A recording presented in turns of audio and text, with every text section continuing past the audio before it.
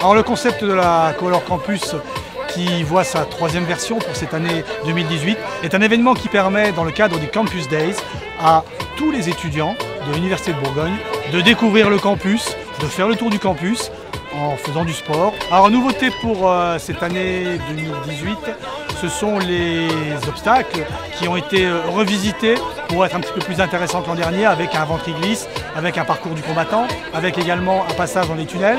Mais aussi on a souhaité conserver le côté euh, convivial et festif et souvenir également en remettant à chaque participant une photo Polaroid souvenir de l'événement pas loin de 150 bénévoles qui sont présents durant 2 à 3 jours pour organiser cette manifestation. C'est le plus gros événement jamais organisé sur le campus de Lille. C'est la première fois que nous mettons en œuvre des, moyens euh, assez conséquents pour euh, accueillir euh, ces étudiants qui, avant d'être handicapés, sont étudiants. L'enjeu d'une telle initiative, c'est de donner une, possibilité supplémentaire à ces étudiants handicapés pour qu'ils puissent participer socialement euh, comme les autres étudiants.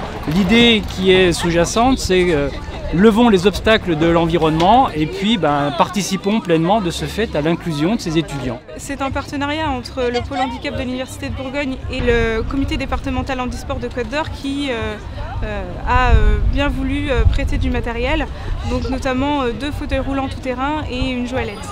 Avec l'eau là, c'est Moi j'ai la crête sinon. Euh, je passe la parole à mon coéquipier. Bonjour Alors euh, bah, franchement la color run euh, c'est assez physique mais quand t'es entraîné ça passe, quelques, kilomètres en, entre nous c'est rien tu vois. Des, barres du fun, du fun. On a atteint à peu près 2500 participants cette année sur la Color Campus. Chaque année en fait on monte de 500, on a fait 1006, 2000 et là 2005 c'est une troisième édition qui est tout aussi réussie que les premières. Et pareil que l'année dernière, on a tiré encore quelques petites modifications à faire pour l'année suivante. Ça s'est super bien passé, on a été dans le timing, on n'a pas eu de gros embêtements, tout le monde a été super. Euh, normalement, si tout se passe bien, il y aura une quatrième l'année prochaine et ainsi de suite.